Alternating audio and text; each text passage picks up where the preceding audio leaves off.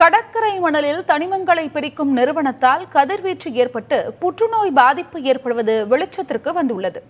உயிரை கொல்லும் நிறுவனத்தை மீண்டும் அமைக்க எதிர்ப்பு தெரிவித்து மனு அளித்துள்ள மக்களின் குரலை பிரதிபலிக்கிறது இந்த தொகுப்பு.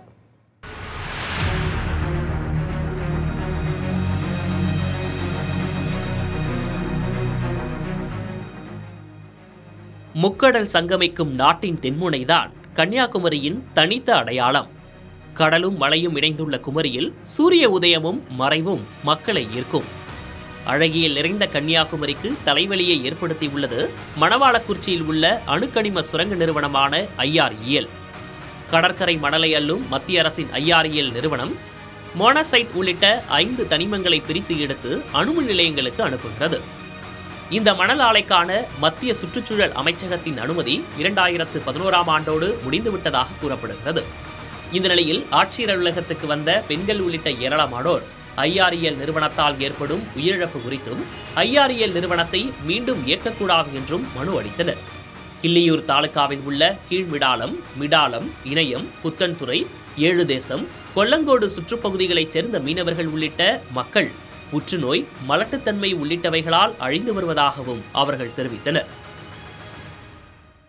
ஒவ்வொரு நாளும் ஒவ்வொரு மக்களும் ஆஸ்பத்திரி ஆஸ்பத்திரியா போயிட்டு வராங்க. பல பல நோயினால இறக்குறாங்க. படுத்திருக்காங்க உடனே தூங்குறாங்க. தூங்கிட்டு இருக்கான்னு பார்த்தா இறந்து கிடக்காங்க. மணல் எடுக்கும்போது கடல் உள்வாங்கிரும் உள்வாங்கும் போது ஹார்பர் எல்லாம் நம்ம நாசமா மூழ்கிடும் அந்த விஷயங்கள். ஒண்ணு நம்ம கடல் உள்ளாடி போறது நமக்கு அந்த விஷயங்கள் கஷ்டமா இருக்கும் இந்த மணல் எடுக்க எடுப்பது சம்பந்தமாக கதிர்வீச்சல் அடிப்படையில நம்ம மீன்கள் மீன்கள் கரையை வாரதுக்கு உண்டான விஷயங்கள் ரொம்ப பாதி பாதிப்பு ஏற்படும். அத்தனை கிராமத்திலும் தனித்தனியாக சென்று கருத்து கேட்பு கூட்டத்தை நடத்தி மக்களுடைய கருத்தை தெரிந்து கொள்ள வேண்டுமே தவிர அந்த அலுவலகத்தில் கண்டிப்பாக கூட்டத்தை நடத்தக்கூடாது என்பதை இதன் மூலம் தெரிவித்துக் கொள்கிறோம். நூத்துல எழுபது சதவீதம் ம- மக்கள் பாதிக்கப்பட்டிருக்கிற நேரம் இன்னும் இந்த திட்டத்தை விரிவுபடுத்திருக்கிறதுனால ஒட்டுமொத்த கடற்கரை கிராமத்துல வாழக்கூடிய மக்களும் அழிஞ்சு போகக்கூடிய ஒரு சூழ்நிலை உருவாகும். இதனால மக்கள் மட்டும் இல்ல கடற்கரை வளங்கள் கடற்கரை இந்த பகுதியே காணாமல் போகக்கூடிய ஒரு சூழல் உருவாகக்கூடிய ஒரு கட்டத்துல இப்ப இருந்துட்டு இருக்கோம். கொஞ்சம் மக்கள் தான் வந்திருக்கோங்க இத வந்து அவங்க வந்து மூடாம இருந்து மேலும் அதை ஏதாவது வழிகாட்டுதலோட உருவாக்குனாங்கன்னா நாங்க மொத்த மக்களும் திரண்டு வந்து இதுல வெற்றி பெறுவோம். கடலும் கடல் சார்ந்த இடமும் மீனவ மக்களுக்கு தான் சொந்தம். யாருக்குமே சொந்தம் இல்ல. மோனாசைட் என்பது அணுசக்தி சட்ட விதிகள் படி பரிந்துரைக்கப்படும் பொருள் என்ற பட்டியலில் வருகிறது. மோனாசைட் உள்ளடக்கிய கனிம படிவத்தை எடுக்கவும் அதை கையாளவும் மத்திய பொதுத்துறை நிறுவனமான ஐஆர்இஎலுக்கு மட்டுமே அதிகாரம் உள்ளது. கடல் மணலில் உள்ள தனிமங்களை பிரிக்கும் ஐஆர்இஎல் ஆலை சுமார் ஆயிரத்து நூற்று நாற்பத்தி நான்கு ஹெக்டேர் பரப்பிலான இடத்தை தற்போது கோரியுள்ளது. அங்கு ஐம்பத்தி ஒன்பது புள்ளி எட்டு எட்டு மில்லியன் டன் அணு கனிமங்களை வெட்டி எடுக்கலாம் என கணிக்கப்படுகிறது. ஆயிரத்து நூற்று நாற்பத்தி நான்கு ஹெக்டேர் பரப்பில் எழுபத்தி ஒன்பது ஹெக்டேர் மட்டுமே அரசாங்க நிலங்களாக உள்ளன.